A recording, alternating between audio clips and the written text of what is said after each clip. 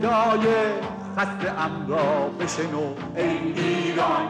که با گنای خسته ام را بشنو ای ایران. می‌خوانم آوازی میان ضرب توفان ها همخانی من با رعد و برق و باد و باران ها آواز من هرچند ایرانم غم است با این همه از عشق.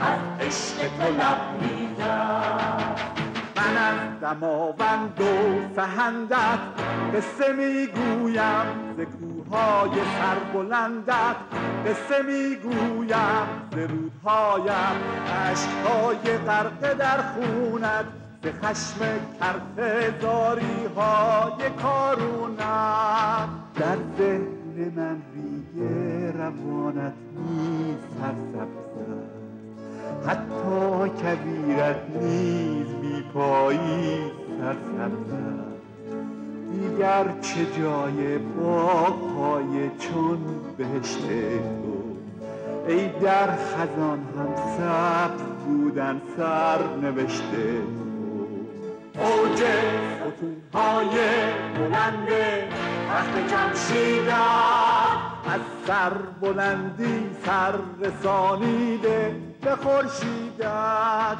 پروا مکن از این شکستن ها که در فرجام ایران من تو کامیابی دشمنت ناکام. می‌دانم اما که جای ایستادن میدانمت جای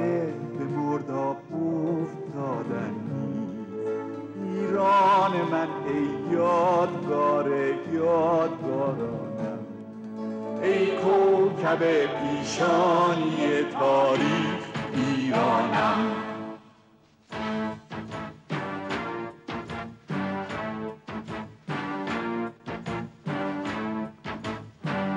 ایرانم ای سیراب دریاگوی دریاجو. از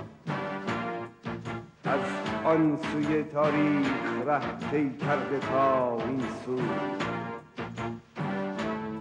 جویی که از سرچشمه آیینت جاری است.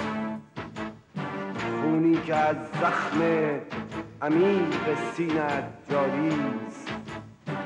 می‌شوید از دلهای ما هم زنگ خمها را.